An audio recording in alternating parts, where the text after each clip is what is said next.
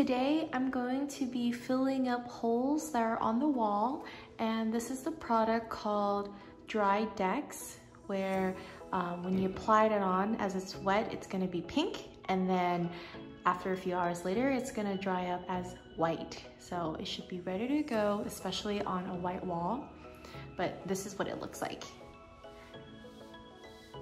So what you wanna do is you're gonna remove the cap, which I already did, and you're going to cut the nozzle to your desired opening size.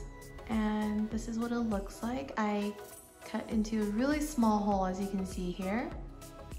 And let's begin. Just to give you guys an example, these are the holes on the wall that I'm going to be filling up with the Drydex. So this is one, two, three, four, five, six. As you can see, this side of the wall has huge holes. There are also big holes like this one, which I'm gonna fill up as well. We're gonna start with this hole right here, and I'm gonna squeeze as much as I can. Ooh, I have no strength to squeeze at all. Hold on.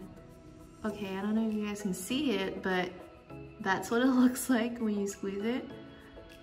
And you're gonna fill the hole all the way in as much as you can. So. Oh, okay. oh, that one fell. Move it up. Hold on, guys. Okay, so I filled as much as I could in this particular hole, and I'm gonna use a putty knife, which you can see here, and I'm gonna scrape it down to make it flat and even to the best of my ability.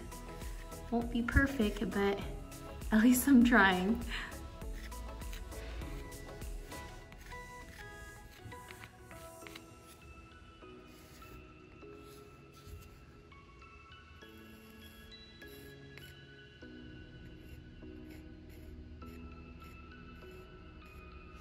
This is what it looks like after I fully flatten it out with the putty knife.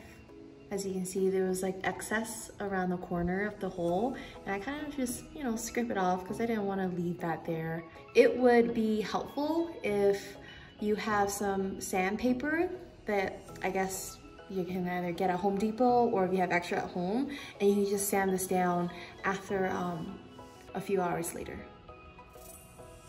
Don't forget guys, remember to dry the surface of the wall, make sure that it's completely clean, there's no residue or webs or anything dirty in the holes because you want to make sure that it's completely clean and dry before you apply the dry Drydex on it. Okay guys, this is what it looks like as the final results. As you can see, all the holes are completely filled up. It's totally white and pretty again. And you can't even tell from afar. Obviously, if you see up close, you'll notice that there are holes, but from afar, it actually looks like it blends in with the white wall. This whole project actually took me about 10 to 15 minutes, so it's not that bad and totally easy to do. If I can do this, you guys can too.